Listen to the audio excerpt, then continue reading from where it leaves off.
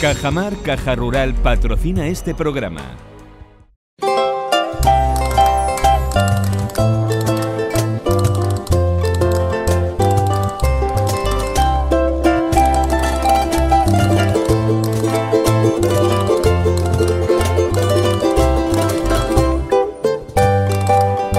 Bienvenidos a una nueva edición de Canarios de Campo y Mar.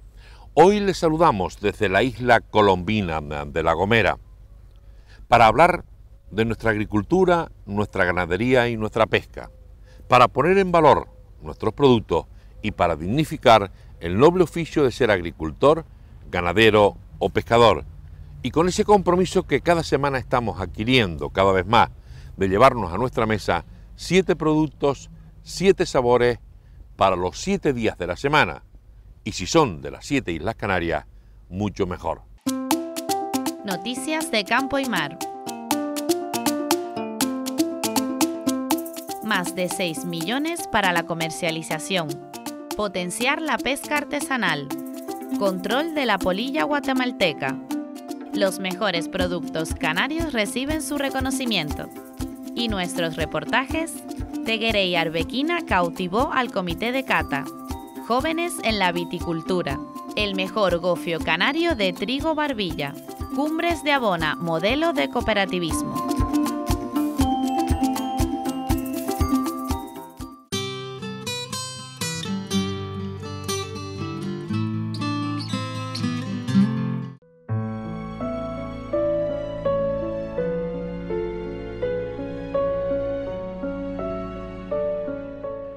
Teguerey Arbequina, elaborado por Luis Hernández en Fuerteventura, ha sido elegido mejor aceite de oliva virgen extra de Canarias en el primer concurso oficial Agrocanarias 2016. Bajo esta marca, su propietario produce aceite de dos variedades de aceituna, la arbequina y la picual, que obtiene de los más de 2.000 olivos con los que cuenta su explotación de unos 85.000 metros cuadrados, situada en Tuineje.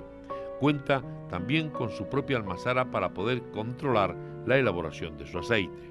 Este concurso pone en valor la calidad de nuestro aceite virgen extra que está teniendo un crecimiento importante en cultivo, producción y aceptación por el consumidor como producto gourmet. Oro Canario, producto de Gran Canaria elaborado por Rita Hernández, logró una medalla de oro y también la distinción de mejor imagen y presentación.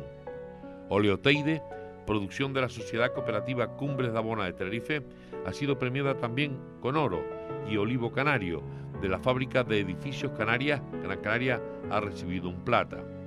En el certamen, que se celebró en Agüimes el pasado mes de abril, participaron un total de tres aceites de las islas, nueve de Gran Canaria, tres de Fuerteventura y una de Tenerife, que fueron valorados por un panel de cata compuesto por 11 catadores expertos siguiendo el sistema de cata ciega, es decir, sin conocer qué producciones se están juzgando.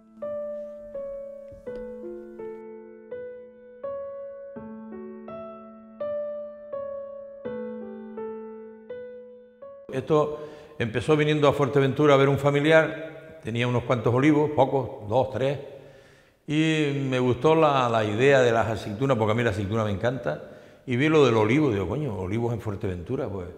Y ahí le regalé 40 olivos, los plantó, y ya me interesé en comprar alguna finca que, tuviese agua. Entonces cogí a mi suegro y le dije, oye, ¿hay alguna tal? Y entonces, pues efectivamente, vimos esta finca concretamente, y, la he comprado. O sea, compramos, empezamos a, plantar olivos, esta variedad que plantamos está en Picual y Arbequina. Y luego hubieron otras lindes, otras fincas al lado que empezamos a comprar, a comprar, y de hecho, pues 85.000 metros tenemos plantados. Yo cuando hay una charla, eh, me gusta mucho el fútbol, me gusta el Madrid, pero si hay una charla de olivo y tengo que ir a Tirajana, voy a Tirajana. Si tengo que ir a Córdoba, voy a Córdoba y entre esas charlas siempre estás rodeado de gente que sabe. Es verdad que yo de, hacer aceite como que no tenía ni idea.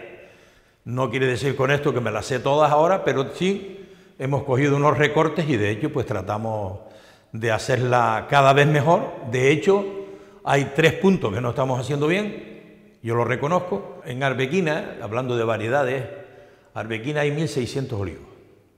Luego tenemos hojiblanca, que a mí me encanta el aceite de hojiblanca. Eh, tenemos unos 550, unos 600 olivos. Y luego hasta llegar a 2.500 el resto es picual. Sí es verdad también que hay algunos gordal, hay cornicabra, hay manzanilla, pero son pocos. Pueden ser 10 de este, 20 del otro y 40, por ejemplo, de gordal. Y el resto, pues ya te digo, el fuerte está en arbequina, picual y hoja blanca. Ahora mismo los olivos más viejos están entre 8 y 10 años y están en pleno rendimiento. Hay años mejores, este es un año que, pues, que verdad que no es bueno, que es un año que la floración ha venido muy lenta y no sé, hasta ahora está el cuajado empezando ahora a cuajar, pero no, no veo un año bueno, no sé, podemos estar este año sobre 2.000, 2.500 litros de aceite.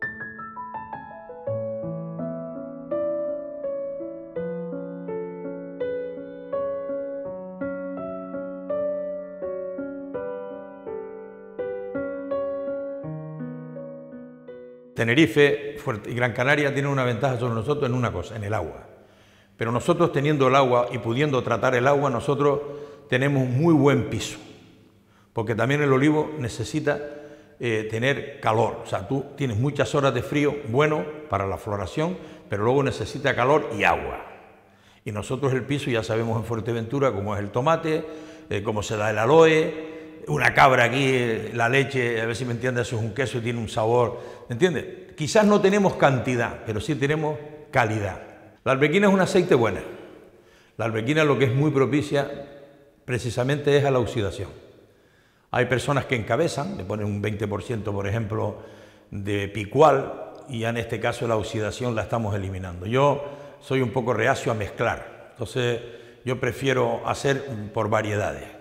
Normalmente se ha llegado a mezclar hojiblanca con picual, nunca con arbequina. ¿Qué se debe de hacer con arbequina? Mezclar. ¿Por qué? Porque la arbequina es una variedad muy propicia a la oxidación. También es verdad que va de qué forma la estás conservando. En el caso de nosotros somos maniáticos en el sentido de que tratamos de evitar las oxidaciones, la mantenemos con nitrógeno y de hecho hemos ganado un premio que ya por lógica nosotros estamos, no, competimos en que, la otra, que las otras personas. ¿Por qué? Porque la aceituna nosotros la hemos recolectado en la segunda quincena de agosto y de hecho en Gran Canaria mm, estaríamos hablando entre diciembre y enero. Entonces cuando, cuando el aceite nuestra está decantada viene siendo octubre y cuando el aceite de Gran Canaria la han decantado estaríamos hablando finales de enero, febrero. O sea que hacer un concurso en, abril, como le he dicho yo a los señores del ICA, que lo han tenido bien de entenderlo, pero es el primero, entonces pues lo hemos asumido así y de hecho pues mira, lo que es el género en sí es bueno, muy bueno.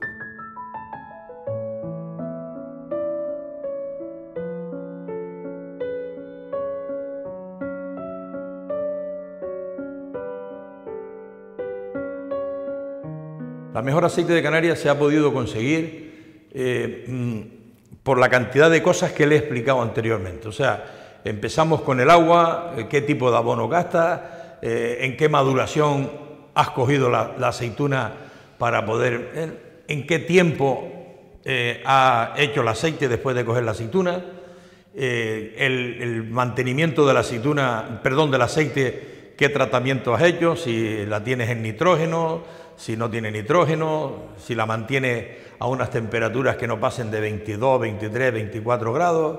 O sea, eh, influyen un montón de detalles y un montón de cosas. Luego el tema del formato. Los formatos nosotros tratamos de ponerlo en cristal oscuro. ¿Para qué? Para evitar la luz que mata el producto y siempre que no pasen de temperaturas eso de 22, 23 grados, que la gente no tengan esto al lado de unas neveras, al lado de sitios que generen calor. Entonces matamos el producto. Este aceite también es curativa, es un aceite que se debe de tomar en ayunas, como hago yo, por ejemplo, todos los días por la mañana me cojo mi cucharada antes de tomar café y, eso es muy, muy bueno el aceite porque es un aceite que te limpia, un aceite que esto es natural, te pica, te limpia, hace un, poco ahí en la garganta, dice, ¿sabes? Y te, y te limpia ahí el, ¿entiendes? Y el aceite, ya te digo, es curativa, es una cosa que de hecho la están recomendando Incluso gente terminal le aconsejan que el aceite, por supuesto que no sea filtrada ni nada, sino entre más natural, mejor. O sea, salir de la almazara, es el aceite que debe de tomar.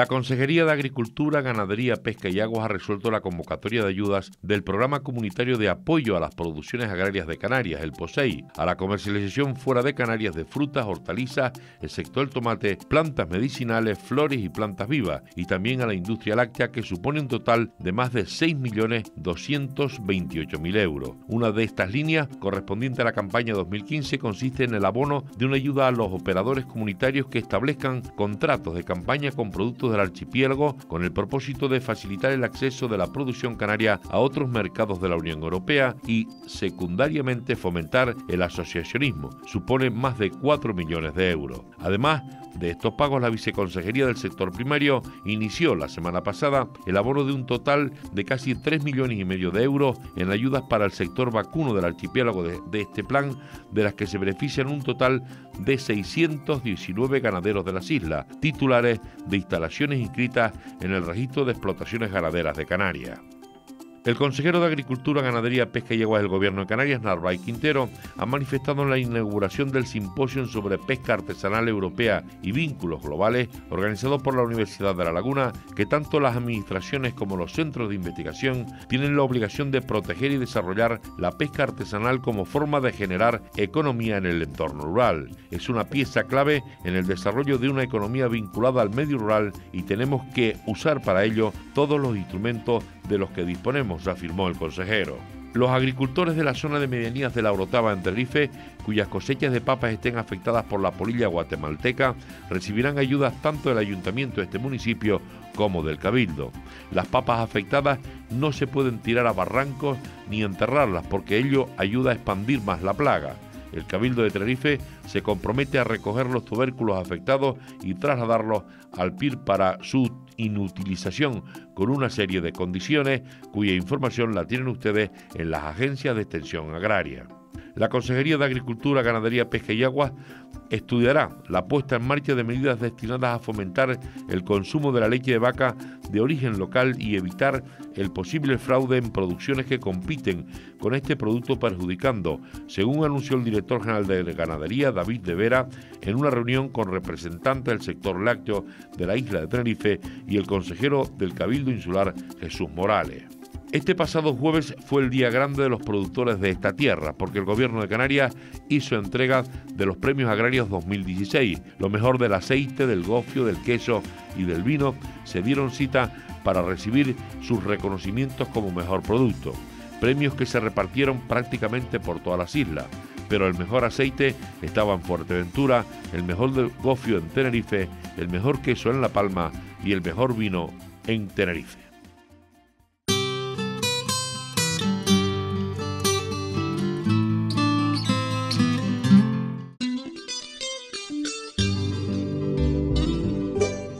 Famosos durante siglos, los vinos canarios han destacado siempre por la singularidad, aroma y sabor que le aportan las variedades, el clima y el paisaje de nuestras islas.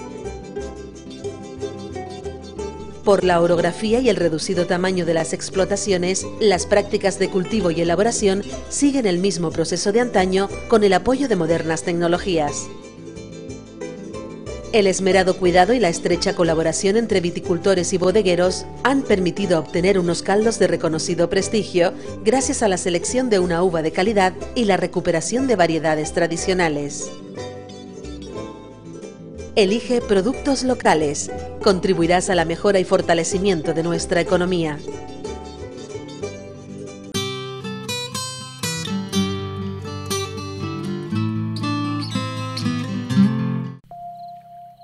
Es cierto que nuestra agricultura peina canas, que los hombres y mujeres de nuestro campo y nuestra mar, la mayoría están por encima de los 60 años y que clama a gritos un relevo generacional, algo en lo que no pensaron ni padres ni abuelos por aquel consejo que daban a los suyos, hijo, estudia para que tú no pases los trabajos que yo estoy sufriendo. Pero también es cierto que la agricultura de hoy está más mecanizada, más tecnificada, más profesionalizada y necesita hombres y mujeres preparados, cualificados y que son bastantes los que se están incorporando al campo y a la ganadería jóvenes que salen de la universidad o de las escuelas de capacitación agraria, que son los que buscan las empresas y explotaciones agrarias y ganaderas de hoy, y algunos montan su propia empresa de trabajo, asesoramiento o incluso ponen en producción nuevas explotaciones o asumen la responsabilidad de trabajar en las explotaciones de la propia familia. El reportaje que les presentamos hoy es un joven viticultor del Migua en La Gomera y es un ejemplo de ello, que motiva, que da garantía de futuro, que es una nueva apuesta desde la profesionalidad y el conocimiento por hacer las cosas bien y sacarle rentabilidad al producto que cosecha, a la explotación a la que se dedica. Es presente, hay futuro. Esto es una bodega familiar que pues la compró mi abuelo pues, en 1950 o así y de mi abuelo a mi padre y a nosotros. Y entonces es como que tienes, realmente para trabajar aquí te hace falta corazón, porque al final eh, lo queremos, son muchos buenos, son buenos momentos, las vendimias son familiares y al final tiene, está llena de, recuerdos. Entonces es algo que te enamora y, bueno, pues que siempre lo hemos tenido desde pequeños y, queremos continuarlo. Y luego realmente ahora, ahora mismo es que le estamos viendo que el, el vino de La Gomera, que, ¿sabes? que que es un producto de calidad, que tenemos una agua maravillosa y que podemos conseguir buenos resultados. Entonces, mm, pues tenemos que apostar y, si desde luego no hay continuidad, pues en pocos años pues, pues la viticultura desaparecería. Entonces es un poco de, corazón, de amor por la, por la tierra y por, nuestros vinos.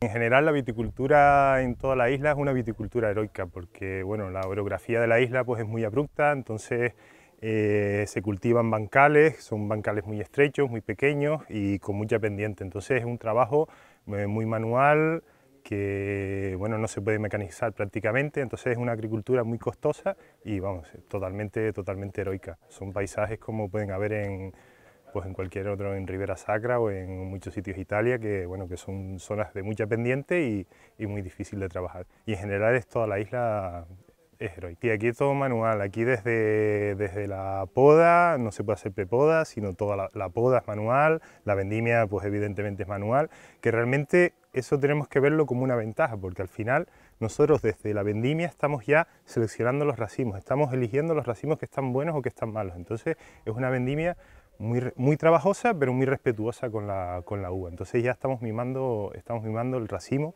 que llega íntegro a la, a la bodega, que al final pues tenemos que verlo, eh, eh, que es muy trabajoso, pero al final tenemos que transformarlo como una ventaja para, para la bodega. Anteriormente, tanto la zona de donde estamos, que se llama Montoro, como el Palmar o Taguluche, era una zona pues, de, mucha viticultura. Era viticultura en secano, todo en terrazas, una viticultura muy heroica y de mucha gente, de mucha mano de obra y, bueno, pues pero se producía, pues yo creo que antes se producía más que todo lo que se produce actualmente en La Gomera, en esta zona. Y pues se ha abandonado prácticamente todo y ahora mismo pues quedamos nosotros por aquí.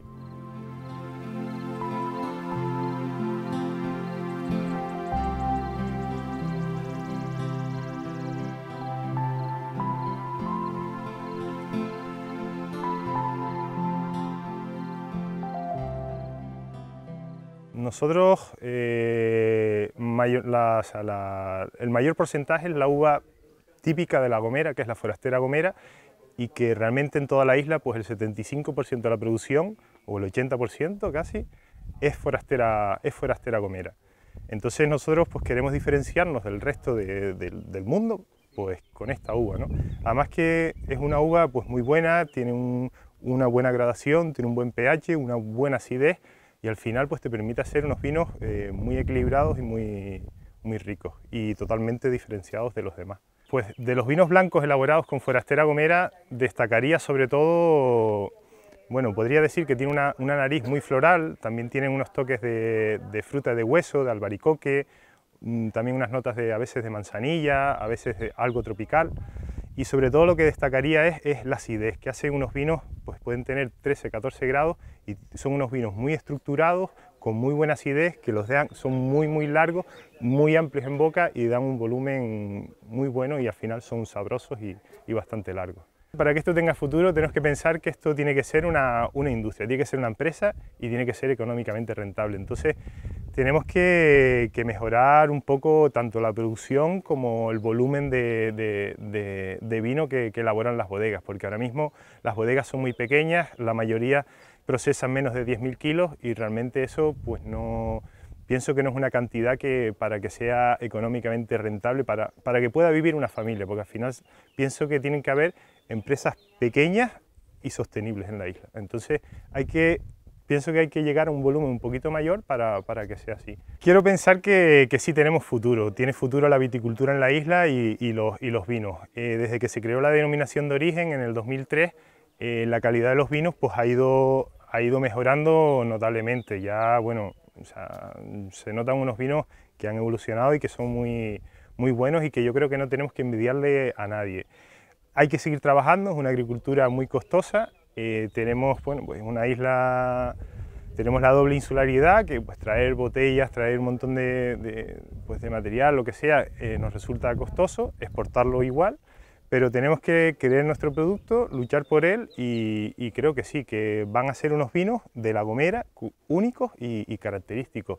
Y tenemos que jugar con eso, tenemos que vender nuestro paisaje, nuestra cultura y, bueno, y nuestros vinos, nuestra gastronomía, va todo muy enlazado con, con lo que es la, la isla en general.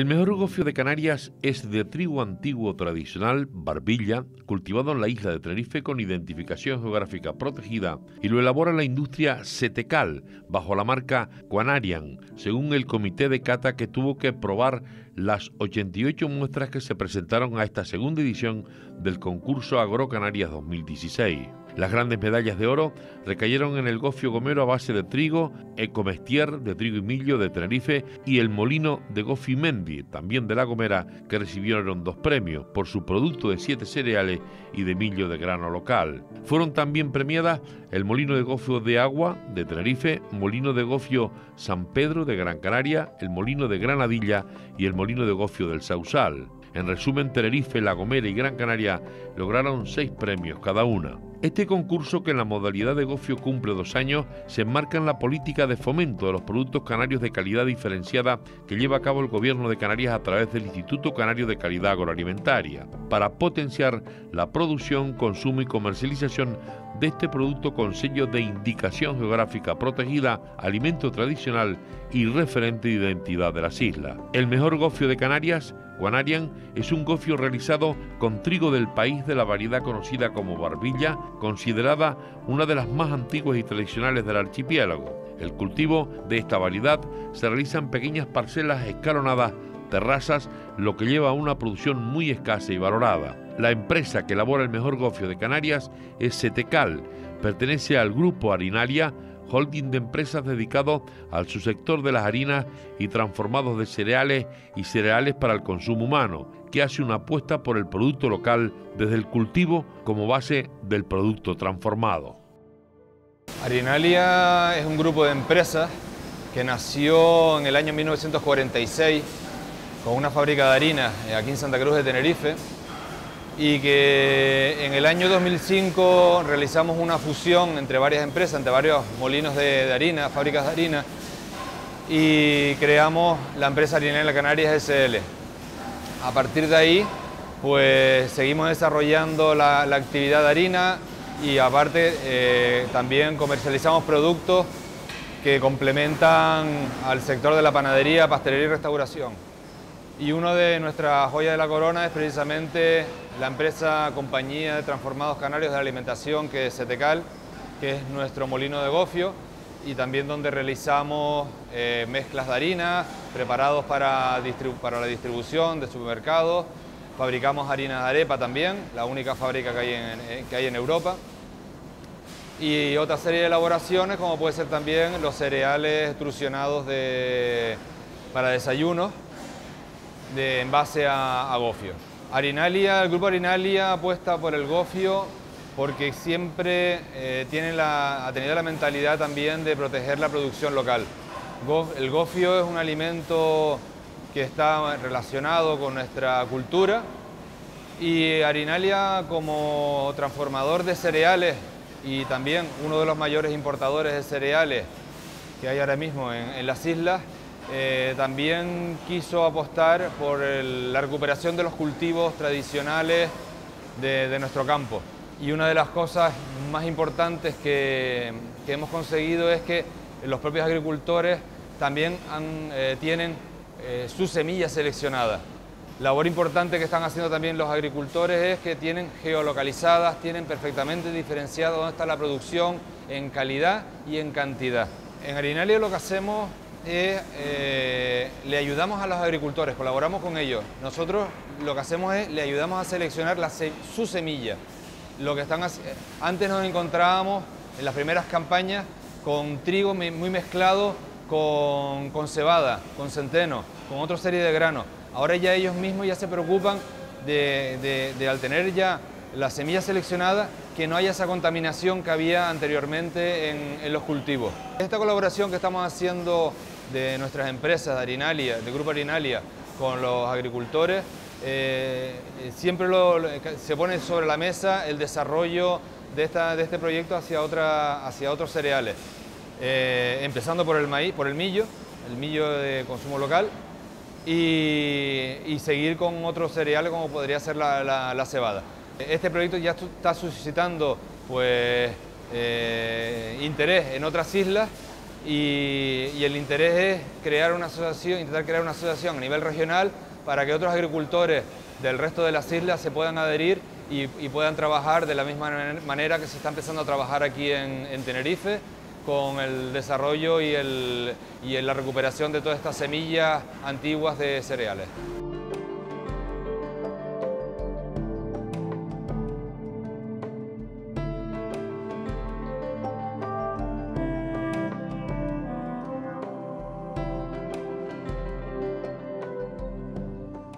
Nosotros desde el, acuerdo que se realizó con la Asociación de Cereales de Tenerife eh, fue un acuerdo de cosecha, eh, que, nos creamos el compromiso de adquirir, en principio, el trigo que están cultivando eh, a un precio determinado, lógicamente que le, sea muy que es muy beneficioso y, por lo menos que le produce, le, da interés al agricultor para, seguir cultivando año a año el trigo y el compromiso es eh, por nuestra parte, de realizar y proceder a la limpieza, a la selección de las semillas para aportárselas a los, agricultores para que puedan sembrar en la siguiente campaña y nosotros comercializarla al resto de, consumidores del mercado del gofio. Nosotros aquí desde Harinalia estamos intentando fomentar el consumo del gofio, darle valor a este alimento que es un superalimento, porque tenemos eh, un alimento que contiene proteína, contiene, contiene grasas, contiene los minerales, contiene eh, los hidratos de carbono, contiene mucha fibra, es un alimento integral y lógicamente esto hay que, hay que valorizarlo y sobre todo eh, tenemos que darle el valor que tiene. Tenemos que, volver a acostumbrar a nuestros hijos a, volver a tomarlo por, su, valor nutricional. volver otra vez a, que el resto de los jóvenes, que es mucho más fácil comprar pues, un cereal de desayuno eh, ordinario que normalmente tiene aportes de, azúcares, pues volver a intentar otra vez a fomentar el consumo del gofio. El gofio de trigo de Tenerife es un, gofio pues, eh, que ya con, con, el galardón que hemos recibido en este segundo concurso de, gofios de Canarias, pues es un gofio muy suave, un gofio muy aromático. Es un gofio en el cual, eh, sobre todo, eh, el que lo prueba y lo, toma, le, hace, le recuerda a su niñez, a las tradiciones.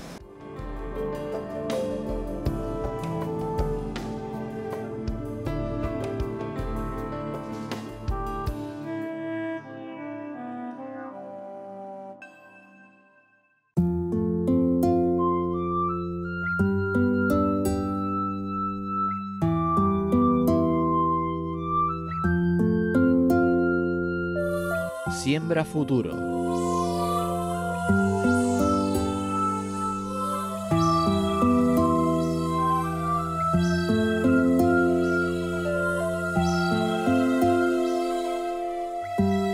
Crea riqueza.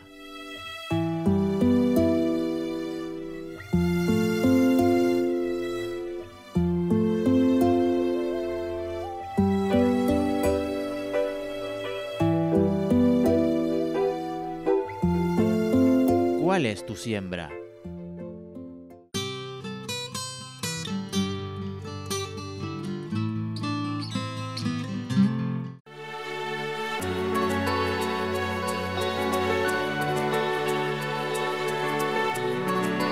No es habitual que una cooperativa celebre una asamblea de puertas abiertas no solo para todos los socios, sino al público en general y viticultores invitados.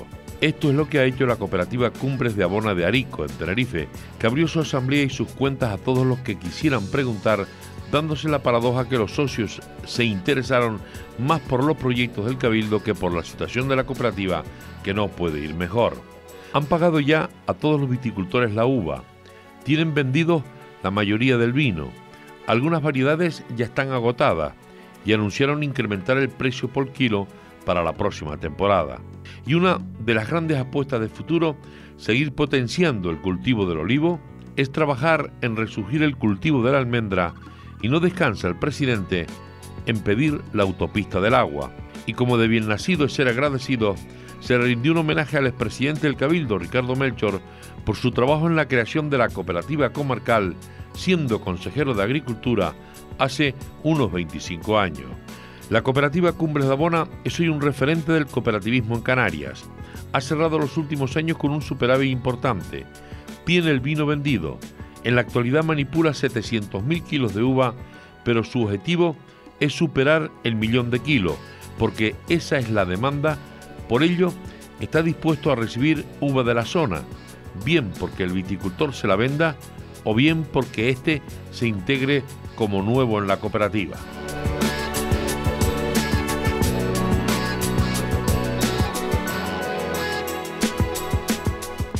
Yo llevo poco, relativamente poco tiempo, porque realmente mi padre es el que haya hecho la labor, una labor de muchos años, de más de 50 años, mi padre, y entonces pues yo por circunstancias de, la vida, pues hace cuatro años hacia acá, pues estoy estoy metido ahora más de lleno en lo que es la, lo que es agricultura y lo que es la viña en sí. Muy contento porque la verdad que tanto Manolo como las demás personas se ve que ha ido llevando en estos cuatro años que yo llevo tan solo, le he visto una mejoría muy grande, dado que te facilita muchas cosas y te ayuda para, para poder mejorar tanto en, mis vinos o en, mi uva, porque yo vino no hago, y en, todos los demás, la verdad que muy contento con ellos. En pocos sitios tienes eh, la seguridad de poder trabajar y que te paguen lo que tú realmente trabajas. La verdad que es una forma de valorar tu trabajo, yo creo que es muy importante. Hombre, es un cúmulo de todo, ¿entiendes? Yo creo que tanto Pedro, que es el más trato que yo tengo con él, que es el enólogo, la verdad que es una persona encantadora, te ayuda siempre que puede, va a pie de campo, la hora de cobrar, pues nunca hemos tenido ningún problema y todo en general se va valorando bastante bien, ¿entiendes? Yo estoy muy contento con ellos y espero que yo también con nosotros, que dentro de nuestro granito de arena que ponemos, pues estemos todos contentos. Estamos, tenemos un proyecto de hacer porque hemos tenido una con esto de la sequía y tal, se nos han secado unas parras ahí, estamos a ver si podemos sembrar para poder ir mejorando nuestra finca, aprovechar el terreno que tenemos para que lo tenemos baldío, pues tenerlo que sea cultivado para ver si tal.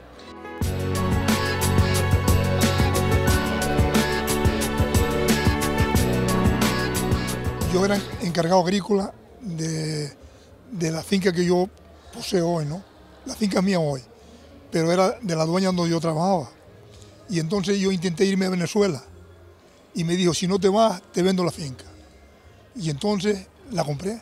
No la compré de contado, sino a plazo. Oye, me costó más.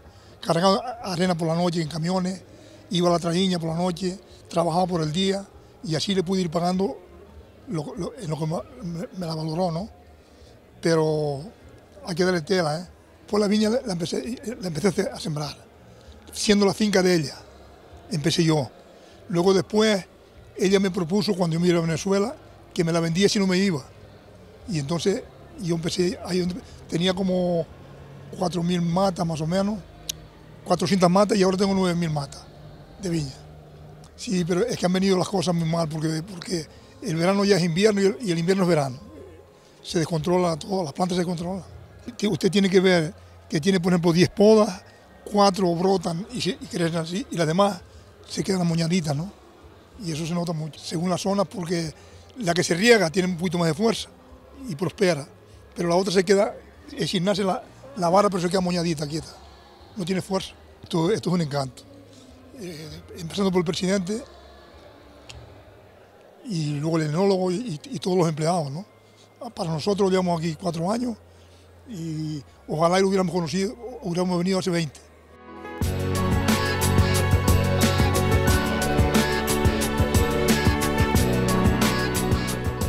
Para mí es un gran honor y creo que además eh, que se debe pues, a la generosidad del presidente, de la Junta Rectora y de los cooperativistas.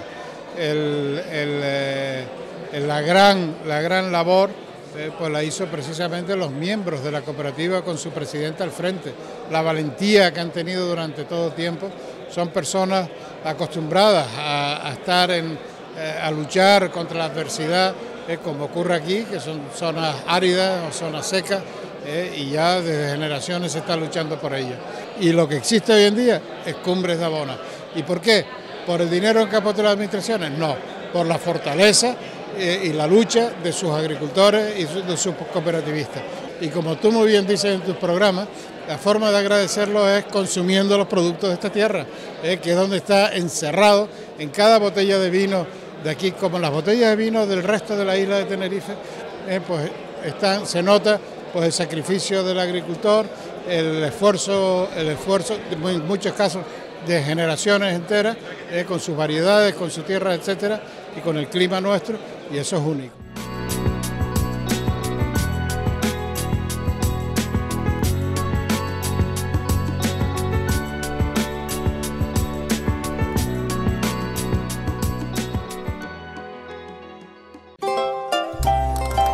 Les saludamos desde Canarias Radio La Autonómica. Cada día, de lunes a viernes, estamos aquí desde las 6 de la mañana para poner en valor nuestra tierra, sus productos y su gente. Para dignificar el noble oficio de ser agricultor, ganadero o pescador. Y explicarles con nuestros propios agricultores la garantía que tiene consumir productos de nuestra tierra. Porque son naturales, son frescos, son cercanos generan riqueza, crean empleo, conservan el paisaje, potencian el agroturismo y hacen que nuestra isla sea más sostenible. Ya lo saben, queremos invitarles a que cada mañana nos acompañe aquí, en Canarias Radio La Autonómica, desde las 6 de la mañana. Canarios de Campo y Mar.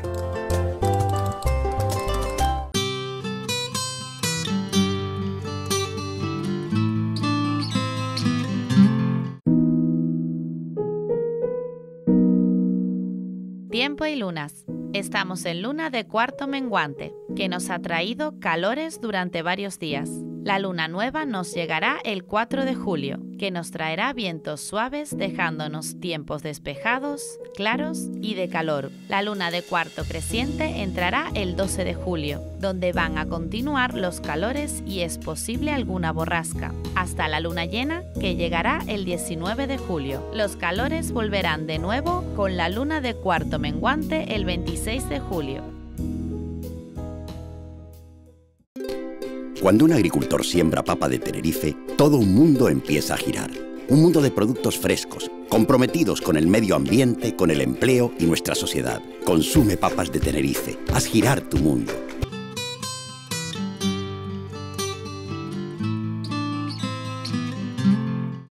El refrán Julio normal seca el manantial.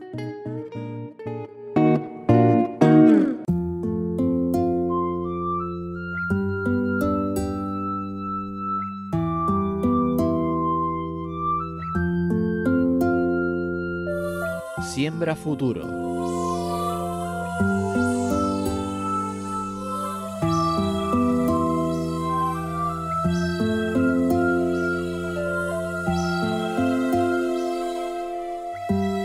Crea riqueza.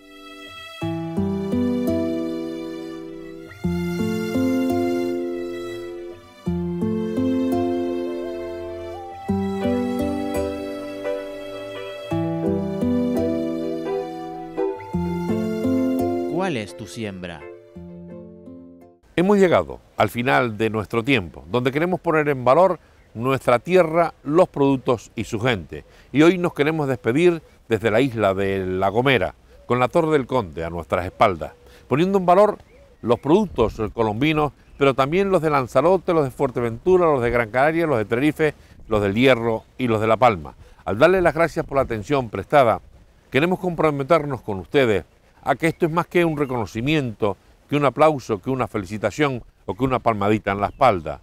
Consumir el producto local, consumir el producto de aquí, genera riqueza, genera bienestar, cuidamos del paisaje, hacemos una isla más sostenible y sobre todo tenemos la garantía de que es un producto natural, que es cercano, que es fresco, que tiene sabor, que es nutritivo, que es saludable y por supuesto que genera riqueza en el medio rural. Al darle las gracias por la atención prestada, les invitamos a que dentro de siete días estén de nuevo con nosotros consumiendo siete productos, siete sabores para los siete días de la semana de las siete Islas Canarias.